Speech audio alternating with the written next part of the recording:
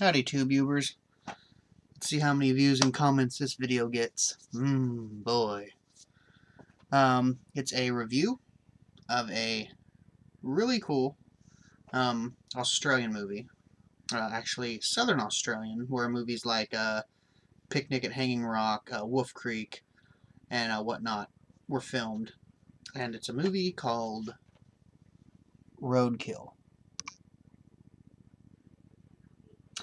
And uh, basically the premise of this is four friends are going out, you know, just to have a good time in the outback. And uh, there's a thing called a road train, which is basically just a massive um, semi truck carrying just really super long trailers on it.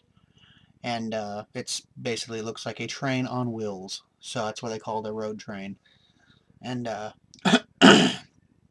excuse me that big truck kind of causes trouble for these uh, kids. I'm a fan of uh, movies with vehicles that attack humans. Maximum Overdrive, Christine, uh, Blood Car. Any of those films will put a smile on my face. Um, this has a little bit of an unexpected thing going on that I really wasn't expecting. Um, I mean, I read the back, and uh, I was like, hmm, okay, so something else is going to happen in this. I just didn't know that it was going to be what it was. It was it was pretty cool. Um, so yeah, I'm not going to give away any spoilers on this, but it's uh, definitely not just a straight up getting chased by a truck a la Duel type film. Uh, there's definitely something else going on in this movie. It was uh,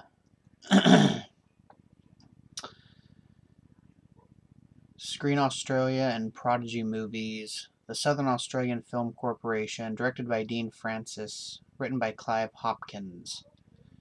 Uh, it's 87 minutes long. Really enjoyable. Um, the characters in it are pretty well thought out. Um, and the actors show some pretty cool different sides to their personalities in this when you actually figure out what's going on and everything. I really enjoyed it.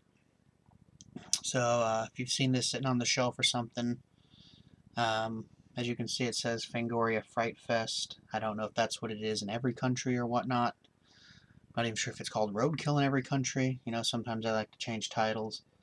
But uh, yeah, give it a check it out. Give it a checking out. That's good English. Check it out if you can find it. Um, it's definitely worth a watch. It's a fun flick. I really enjoyed it. Had some stuff I was not expecting in it. So, that's my review on Roadkill. Thanks for watching, comment, and uh, once I figure out this Google Plus thing, I'll... yeah. So, cheers.